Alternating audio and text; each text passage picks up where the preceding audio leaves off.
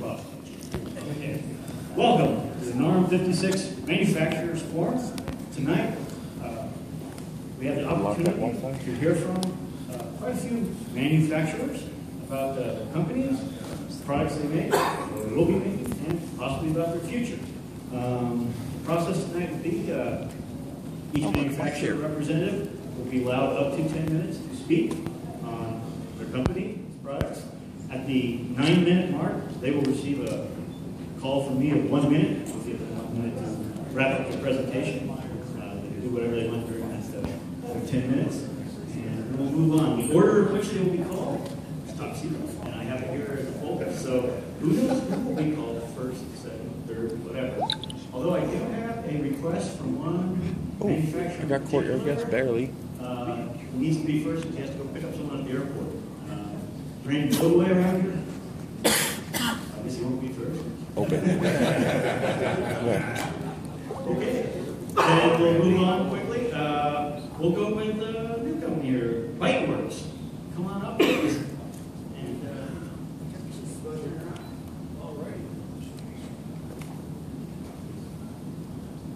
In just a moment, I'll show you a movie because I think that's going to explain what we're doing here a lot better than I can real quickly. As soon as the projector comes.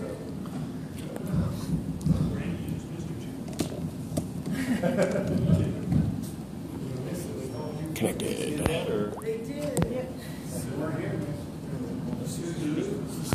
This is our sound system. Uh, Unfortunately, this is not connected through yet. There we go.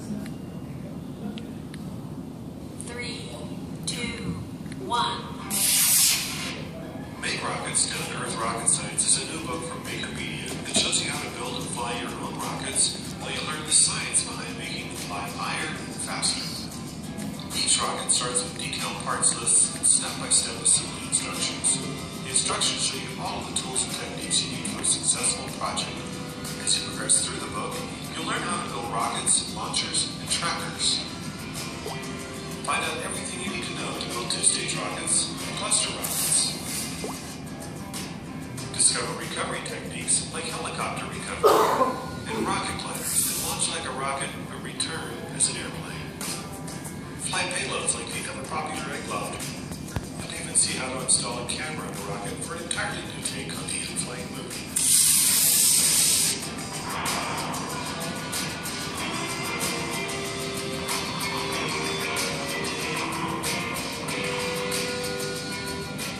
Build launch pads and launch controllers for single rockets larger pads for schools and clubs. With math skills and use altitude trackers. Of course, each comes with tables or simple computer programs too. Get all ages involved with water rockets and air rockets.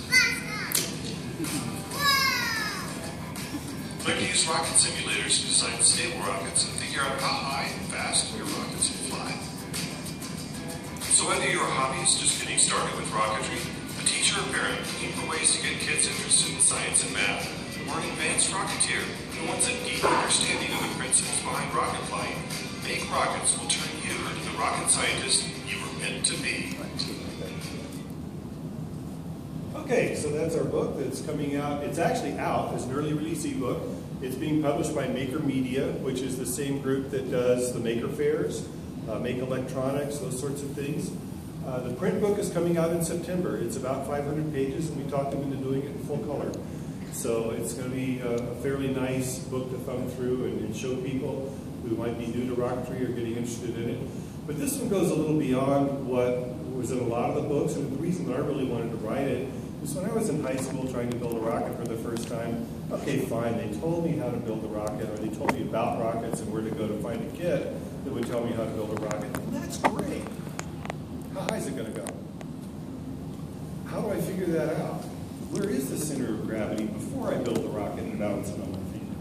So it's also got all the math and science in there as well. So if you want to know that, it's there. If you don't, you can skip it. The book is set up so that that's easy to do as well. So I'm going to take some questions, but I also have a early uh, early version of the book here. This is the galley proofs that I can pass around, let people take a look at. And my wife actually has some cards. One of the neat things that we were able to do is the publisher's giving 50% off of the print book and 40% off of the ebook. And we can pass those cards out so you can actually order those. It's available right now on Amazon. You can pre-order. Uh, the retail price is going to be forty-five dollars. The Amazon price right now is twenty-seven. So not a bad deal. Uh, the ebook itself is selling for thirteen dollars right now, and we're going to give you a forty percent off coupon. So that's almost free. Uh, so you know, by all means, go ahead and grab that and take advantage of it. And if you have any questions, I'll take those. But I figured I wouldn't bore you too much because you've got a lot of other people to go up here and go right up to their. So any questions real quick about it? Okay, would anybody like the discount coupon that didn't stop by the booth today? All right. I've got a question. I've got a question. Okay. Uh, the format of the ebook is it EPUB, PDF, or what? Yes. Okay. Projector. Yes. Oh, you- You're waiting for the, okay. All righty, well, thank you very much, and I'll turn it over to the next person as we're running kitchen airplane. Thank you. Randy, are you here finally? Okay. Randy here. Finally. Hi, I'm Randy Boadway, E-Rockets. Hi, Randy. How you guys doing? We're gonna play a game when I'm done talking about this little thing, okay?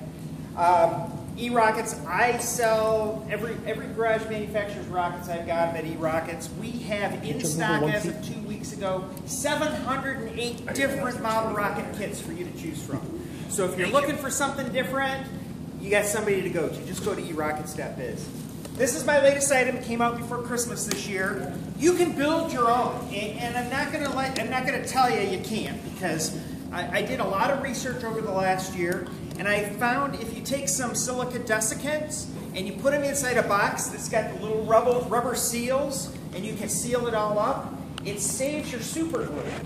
Because what makes super glue, cure? Moisture. Moisture, right. So how do you get rid of moisture? Doesn't it?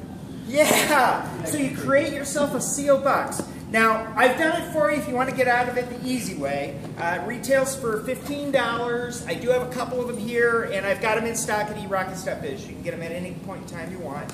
Um, it's great. My favorite thing about using this box is that I can put my super glue in here. It keeps it super dry. And every time I take my super, I open the little the garage door, and, or the refrigerator door, whatever you want to call it. Every time I take my super glue out, you know what it does? I have no clogged nozzles. Clogged nozzles, those days are gone. Do you ever, anybody have a bad bottle of super glue that dried up on them lately? Okay, this week, um, this is what you use, and now you don't have that super glue getting dried up. I actually stopped buying half ounce bottles now. I'm buying two ounce bottles of super glue. Do you know why? My nozzles are never plugged and it's never stopped up. So something to consider. Make your own if you if you have the resources to do it, and if you don't, come to eRockets. It's 15 bucks, and the, all the instructions I talked about are right on top.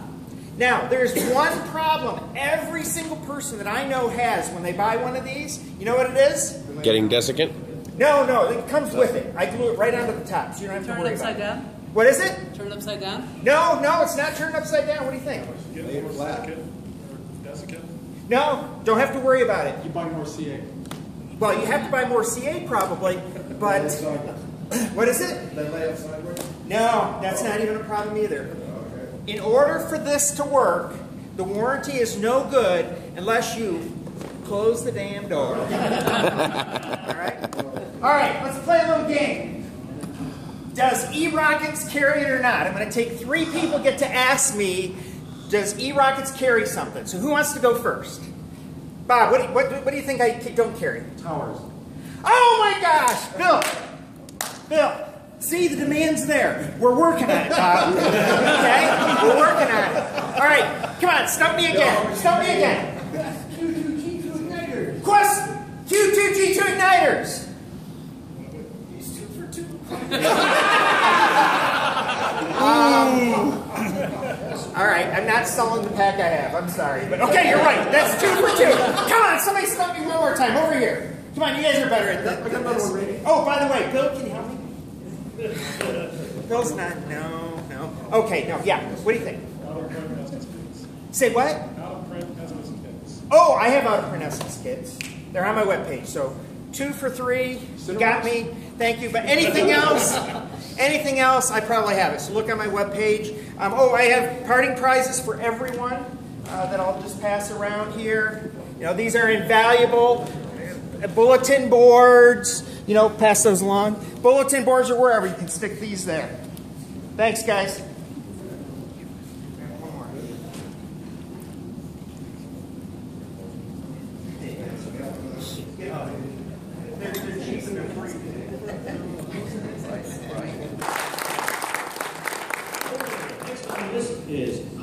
High-tech rocketry.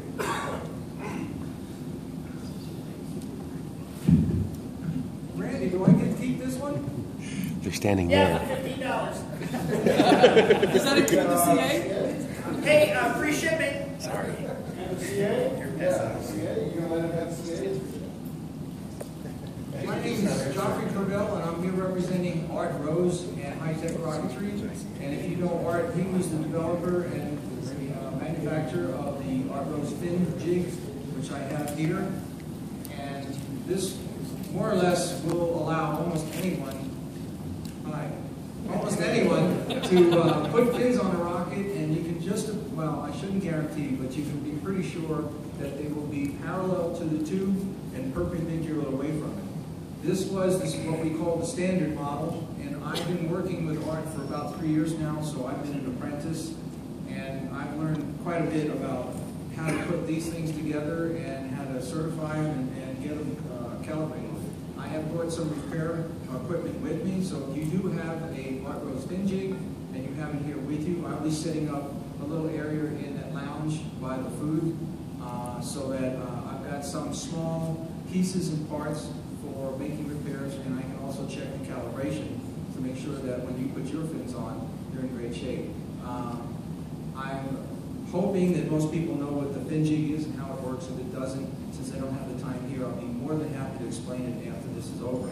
The biggest thing that we've come up with, and it came about because there was a gentleman or someone had sent an email and said, I want to use a fin jig in the back of my car. And of course, Art was hysterical and thought that, well, what are you going to do with it? How are you going to do it? And he just laughed it off. And I kept working with him a little bit and said, well, how could we do it? And then before I know it, I went over to the shop one day and he says, I got it all figured out. And he came up with an absolutely gorgeous something to make it work. He actually found a clamp base which now allows you to put a fin jig anywhere you want. Any kind of table, you could actually put it on the window in the back seat of your car, on the side window, and make it work. This is fully adjustable, 360 degrees, rotates everywhere you want. It hooks and connects just like the original one does on a wooden base. It still has the adjustability there. Uh, you can explain later on about, like I said, how it, it works and what you do with it. This base has just about, I mean, I've got one, and it's just fantastic. I, last year at NARAM, I actually had a rocket that I needed to put fins on, and I clamped it to the tailgate of my truck, and it worked just beautifully. Since we've been working with that, we've had a few people, he had on his website the HPR1, which basically was for high power rockets, and it was a bit of a bear to assemble, put together, and ship out and everything, and we wanted something a little sturdier. We've just developed this new one. I have a prototype here. This is the KR100. And For the high-powered people, this is what you want to get. Same clamp base, and oh, by the way, the clamp base on the originals, was it's an option. So on this one here, it's going to be part of the unit. And as you can see, it's basically the same jig as the original one. So if you have one, you should know how to work with this one. Again, it has the full 360 degree adjustability to it. So you can mount it anywhere and put it up anywhere. This one is considerably stronger and a lot heavier. And the spacing now has been set for a minimum of, of or a maximum of five and a half inches. However, if you move a tube and keep it away from the knob plate, you can go upwards of six, eight, maybe 10 inches. The best part about it is, because of this new base and the 360 degrees, you now can turn this sideways and your fin span is only limited to how far off the floor it is. So now you can put 10 inch fin spans, 12 inch or whatever on each fin to make it work. This is a prototype. and we're still working on a little bit on it, and we haven't quite settled on the pricing for it yet. It will be a little more than the original, but as you can see, it's a, it's a big unit and it's pretty steady. This is a four-inch tube on here. Right now, because of pricing and such, it will come standard with the base. It will come standard with two 29 millimeter mandrels, but we will probably not be making the bigger ones because it's very cost ineffective. So the easiest thing to do is just make your own adapters. And I've got actually two different ones in here alone to work for a 54. Here's the 29 to 38, 39 to 54. Anyway, you s- it was on there. Sure. You saw it, yeah, honestly. So anyway, this allows you now to build a larger rocket and have the fins on there perfectly aligned. The nice part about also is this fin plate will also go down to a minimum diameter tube and you'll be able to use it to actually scribe your lines for cutting your fin slots. So again, everything is going to be accurate, straight, and that's how your rockets are going to fly. Any questions?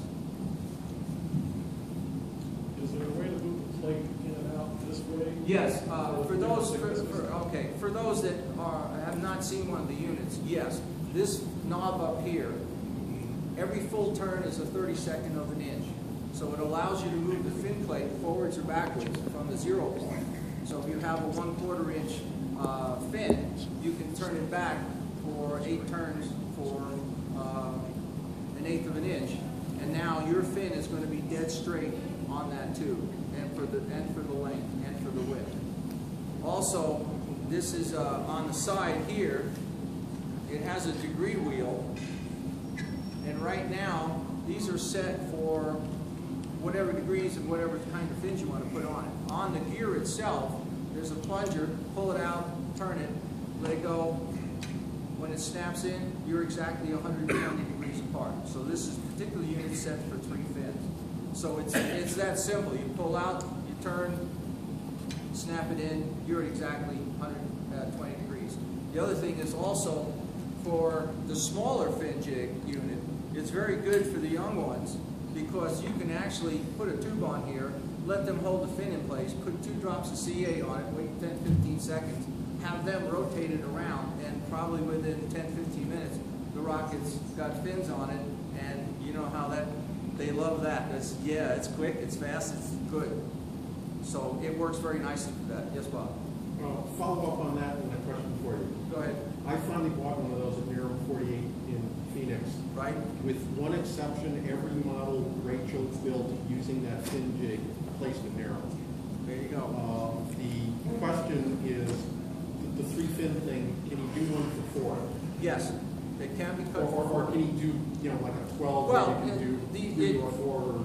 You have three fins that are locked in on the slot, so that's basically. I, I know you can do four with it, but I Yes. the details on it. There's enough tension on the plunger so that you can pull it out, turn it to whatever degree you want, and it'll stay put. Put your fin on, use this and put six on a rocket. Uh, on, we're doing a B cluster, and mine was a total disaster, the fins were too small. Now I've got four tubes that are glued to the body, and how do I get the fins on straight? Well, I raise the fin plate up high enough to clear the tubes, and then put bigger fins on, and now I know that those fins are again on straight and true. We'll see how it works when we fly it, but right now it's looking pretty good. So that is the jigs, and this is our newest unit. This is going to be the KR1000. Any questions? Anybody here have the fin jig with them? Okay. And you'll see me later to get it adjusted. Okay. What I've got right now. I have some flyers also, if you got them in your package, if you need an extra one, I have a few left.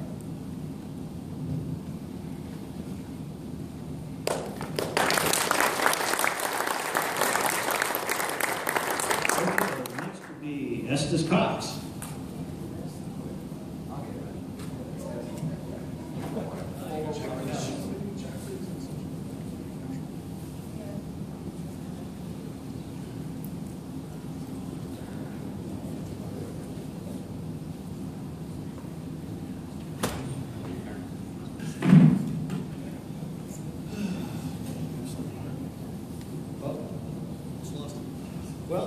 An R&D person over at Estes. Um, uh, Need instructions. Gotta have those. Anyway, um, hopefully you're enjoying a lot of the new builder kits I've been coming out with for, or designing for you. Um, I enjoy doing kits. I enjoy three skill threes, fours, fives. Uh, we got at least two more, uh, what do you call it, sci-fis coming out at the end of the year. Next year you'll see an old scale bring back probably. Uh, another level five sci-fi. Uh, maybe another level one or two uh, scale, something like sounding rocket or something like that. I just haven't done it yet. Uh, mainly I want to talk to you though is uh, we've been coming out with a lot of new ARFs, or E2Xs and ARFs, and some ready to flies and whatnot. and I don't know if any of you bought them or flown them, um, but I designed new fin cans, and the new fin cans have uh, screw-on bottoms instead of like that half-turn latch. We've come out with BT 50, 55, and 60 in three fin and four fin. All the fins, I think there's like 15 different fin designs, work on any of the fin cans. Anything's interchangeable with everything. Uh, in the olden days, they'd have a fin can, they'd have a fin. Now we got a fin can with any fins you want.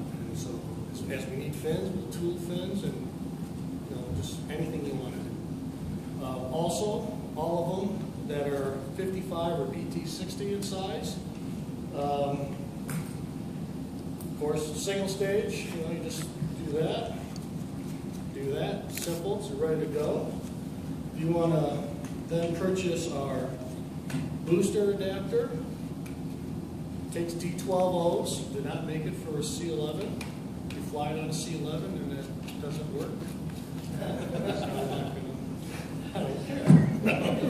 Um, so now you want to make a two-stage. The only thing you do is unscrew that. You screw this guy in, which comes with the booster. It acts as the coupler, and you're ready to go. Rotate. I've heard some people online having problems. We've flown at least a minimum of 600 of these two-stage rockets, and I get to chase every one of them. so, and I'm still fat. and uh, five of them haven't staged. Two I never got back. One I got back, it didn't light. The other two, the motor was in backwards. So we've had a pretty good success rate at Estes with our two-stage rockets. Um, if you don't want to go high, I would suggest don't put a C11-0 in it. Put an AA5 in the upper stage. Because this thing stages at about maybe 100 feet. So you put an AA5, it's probably going to end up going six or 700 feet. Because it rips off the of the Ds. So, and we love selling Ds. So anyway, um, I don't know if you've enjoyed the different color variations we have here.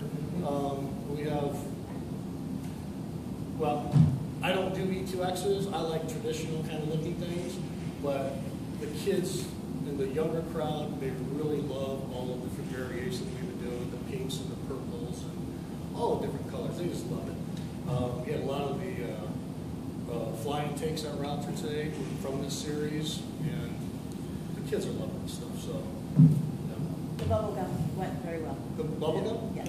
Uh, yeah, it's called the Flying Colors, I believe. Um, I brought this. I design stuff all the time in Estes. A lot of it you'll never see. Um, I have a Pershing 1A that's this big, four inch diameter, maxi group, you know, high power. Yeah.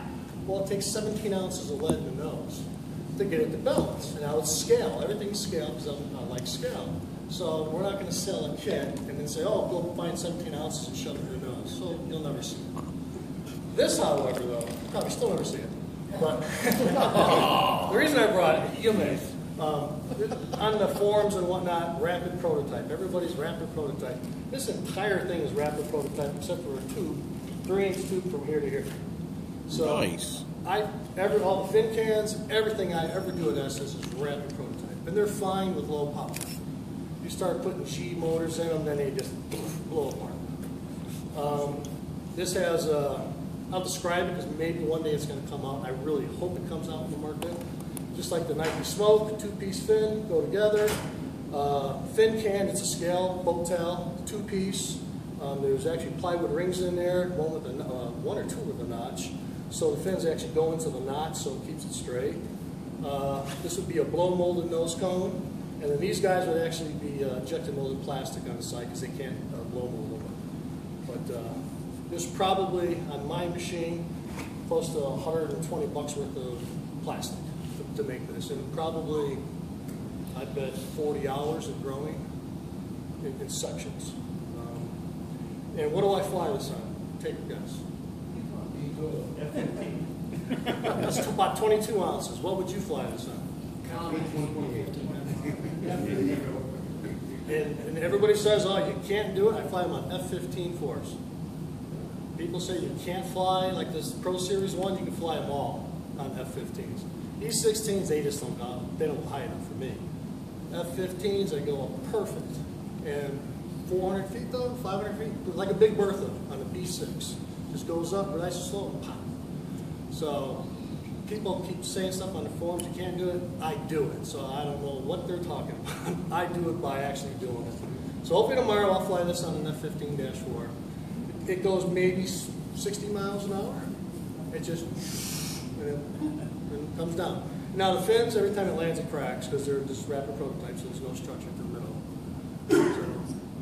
So, um, we've also come out this year, for the past six months, with the Pro Series launch controller. Um, if you put a LiPo battery in it, you can do six igniters, no problem, maybe even eight. Uh, dry cells, basically just two. We probably have over 2,000 launchers on ours right now, because that's the thing we use, fly with. I think we're on our third set of batteries, but two sets of batteries are actually used. So you get a lot of launches. It'll be a great thing for like 4-H groups, Cub Scouts, and whatnot. Like in your backyard. You don't fly with clubs. Uh, what else have we done? Name some stuff. Trying to came out with the stands. Um, those are going very well. People like the stands. Oh, thank you. We have a whole new lineup of the, uh, the E2X Pro series. Plastic fins again, uh, plastic centering rings. Uh, I came up with this real cool, I don't know how many built one, the shock cord anchor. Basically, uh, put the shock cord around this piece of plastic, slide something in, locks in place, glue it to the inside of the body tube. Works really nice. I've actually got designs for smaller body tubes too. And then we have to actually tool for every single body too. This was nice because it's for a whole line. Um, I looked at the car. We have another E2X called the, uh, I think what's called.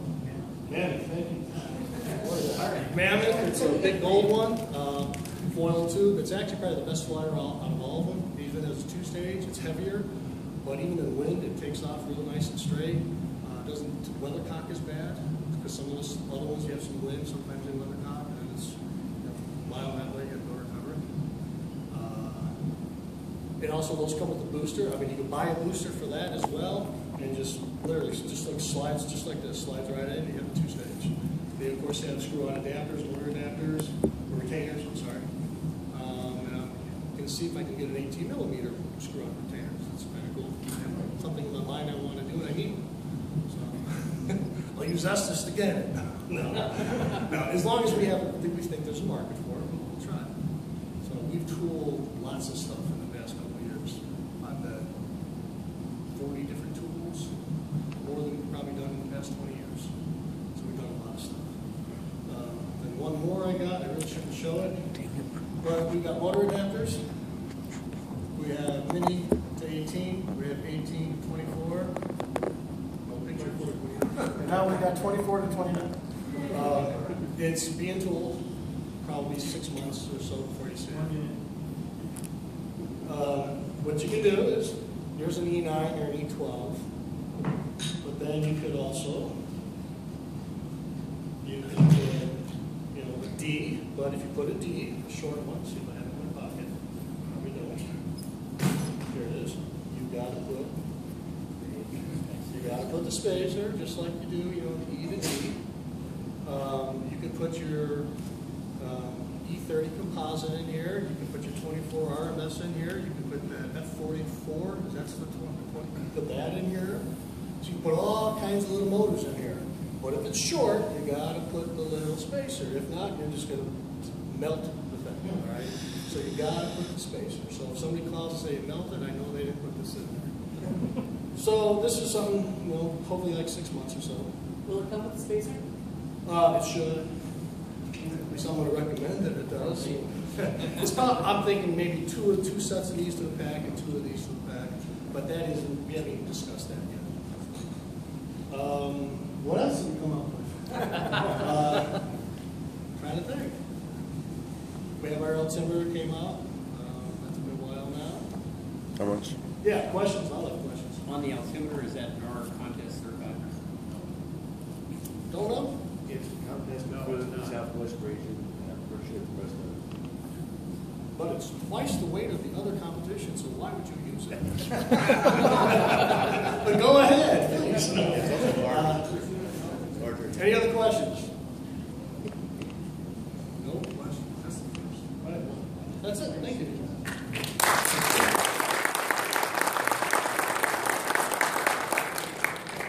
I can go home and build rockets, or-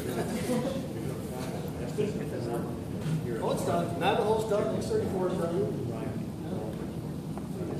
All right, next up will be NARTS.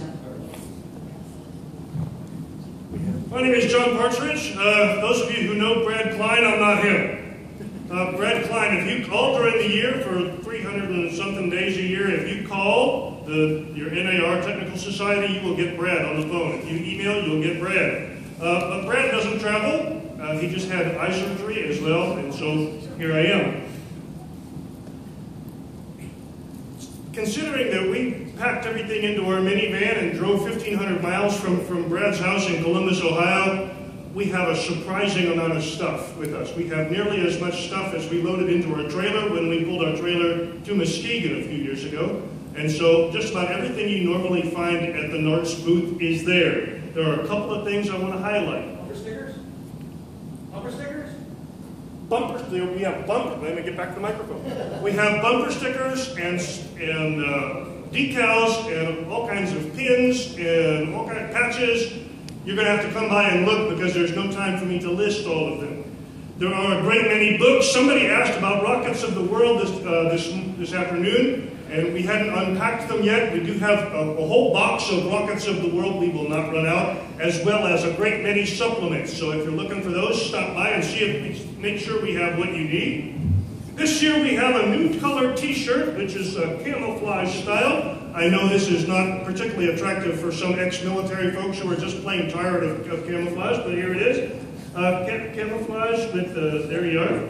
Since this is different this year and new, if you need to add to your collection.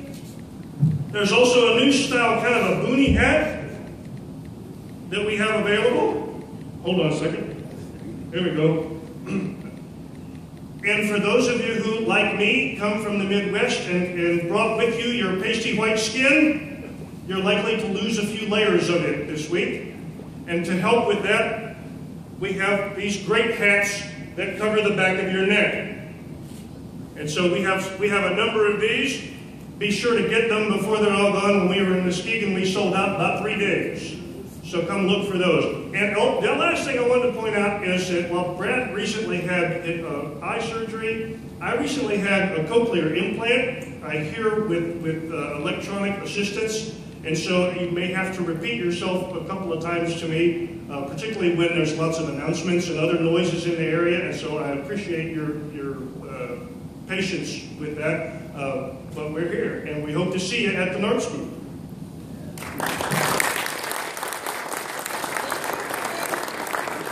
John, did you bring the um, TARC 2014 pins?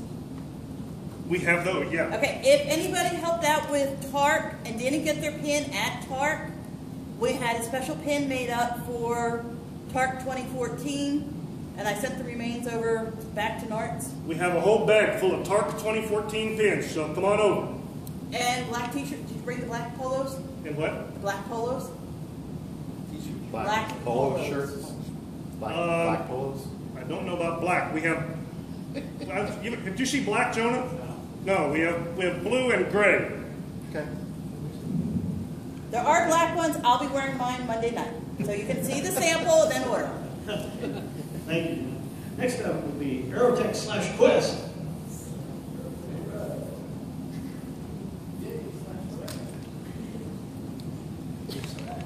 Hello, everybody. I'm Bill Stine, and uh, this is a first for me. For 25 years, I've been doing Quest, this will be my first year to also do Aerotech, because hopefully all of you know that we merged the two companies this year. And actually, it was uh, July 22nd was our one-year anniversary, and um, it has been a very busy year, moving uh, Quest from Colorado to Cedar City, Utah.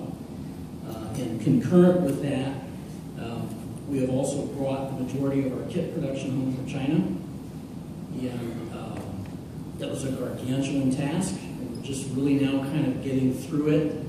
And um, so I'm going to talk Aerotech first and Quest second. So on the Aerotech side of things, um, earlier in the year we released our first DMS motors. We now have all of the, the motors in the line available. Uh, we started shipping the L's uh, two, three weeks ago. And uh, the response has been pretty phenomenal. Um, the major feature to the DMS motor line is basically you have a single-use motor um, that retails for the approximate price of most reload kits. And you do away with all that putting motors together. And it's just kind of ironic how uh, over a 30-year cycle, reloads being the cheapest and best way to fly to now we're going full circle back to the simplicity of a single-use rocket motor. And we have, uh, the response has really been good. We weren't sure how people were going to react to it. Um, you like them. You guys are buying them. You're using them. So a lot of them floating today. Um, we have grand plans to introduce quite a few more to the line. And I would love to get your feedback. Stop by, pull me aside, say, hey, bring this one back, do this. Um, love to get your feedback. So DMS is uh, up, shipping, and flying. Um, our other new motor introduction for the year has been Economax. And what is unique about Economax is uh, we are targeting these to be flown uh, not in just our products, but also in all the Estes E2X kits, uh, the Pro Series E2X kits. And um, our pricing is, again, very competitive. Um, you get two F-44s for $23.99, which is the same price point as two Estes F-50s. Um, however, our F-44 is a 24 millimeter motor. It's the same size as an Estes D-12. So the F-44s, and then also a G-74, which is a 29 millimeter motor, which is the same diameter and length as uh, the Estes Fs. And it retails two for $26.99, same price as the Estes motors. So our slogan is put a bolt of lightning in your rocket. um, and then on the kit side of things, we're making a running change. We're taking all the motor clips, the clungy metal motor clips out of our kits, and we will be putting these really nice machined aluminum motor retainers in. And we're also going to make these available uh, for sale separately at probably a retail price point of about 14 bucks. Uh, $14 for the uh, 29 millimeter and maybe $12 for 24 millimeter. And I have some of these with me if you want to stop by. It's kind of addictive. You just kind of sit here and twist and play with it. It's very soothing, therapeutic. um, so that's kind of it on the Aerotech side of things. Um, now that I am able to pull some of my time away from getting production up and running, I'll be back into the R&D side of things.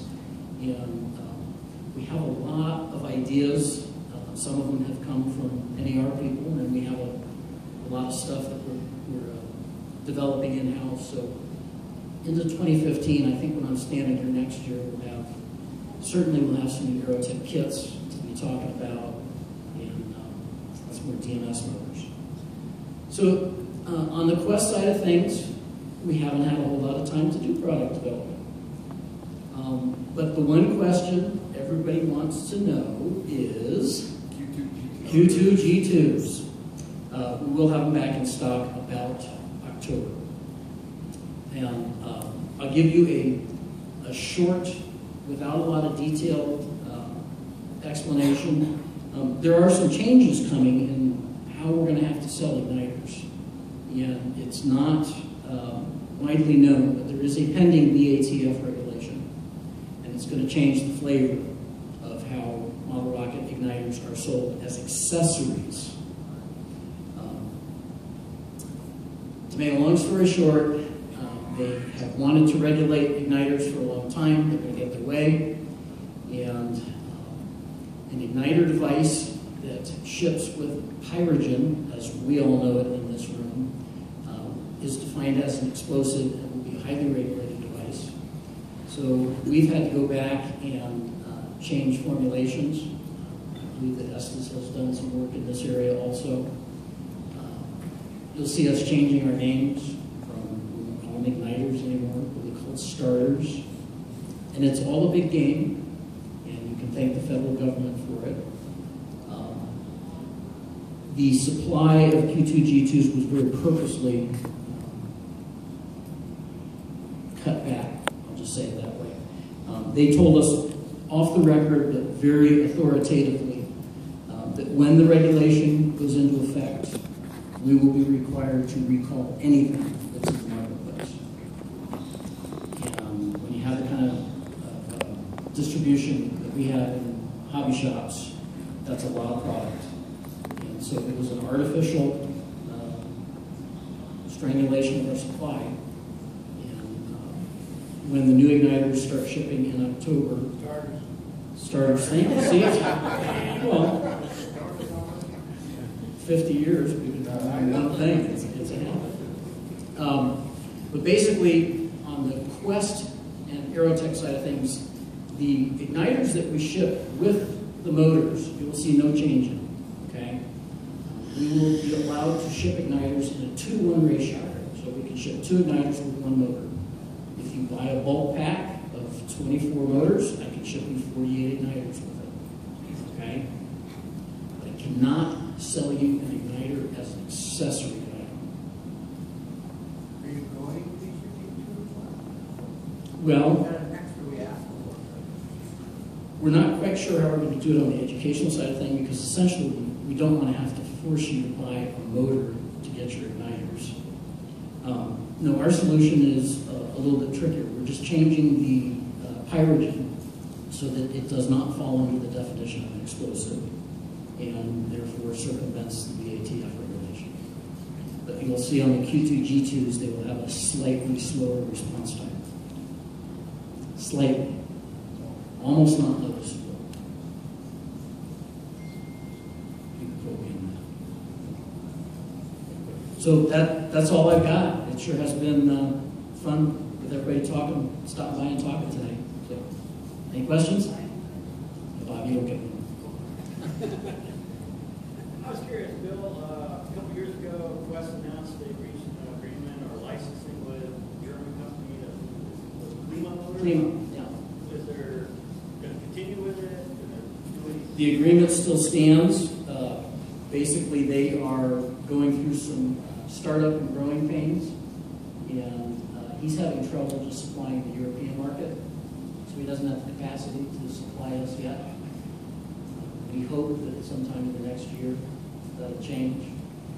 Um, But then we still have to go through all the regulatory process to get them tested and certified here. So That has changed dramatically also. Very expensive. Anybody else? Okay, thank you.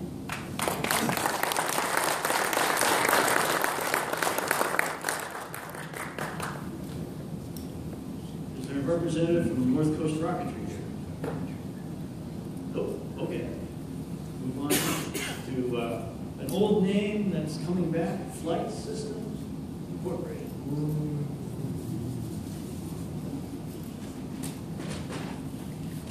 Good evening, ladies and gentlemen. My name is David Lucas, for those people that don't know me. Uh, I'm the president of Flight Systems Incorporated. Uh, We are now bringing back Flight Systems uh, after a 20-year hiatus. Uh, We found out where the Reese's stored the material. So uh, I purchased it and uh, found a place to start the business up again. Right now, we're just unpacking everything. So what we have with us here at NARAM is specifically for the flyers that want to buy uh, a rocket that's been storage for 20 years. We've had to do a few modifications to make them usable with today's motors. Uh, Some of the rockets that flew on the F-7s will have a 24 millimeter round in it, so you can fly it on at least uh, ease. Uh, We have some 18 millimeter, and uh, we have a few rockets that will be 29 millimeters, so you can fly some high power like the Hercules. Um, I'm going to now turn it over to Dave Booker, and he's going to tell you a little bit about the technical aspects uh, and what we're going to be doing. My name is Dave Booker, and I have a lot of people may know me uh, for high power from way back. Been flying for 47 years. In 1968, I bought uh, motors and kits from Flight Systems when I was in Colorado. And uh, then I moved to Raytown, which is now where I live. In 87, I went by Harold Reese's house to see Flight Systems Inc., FSI. And it was kind of funny because uh, it was just a house in a subdivision.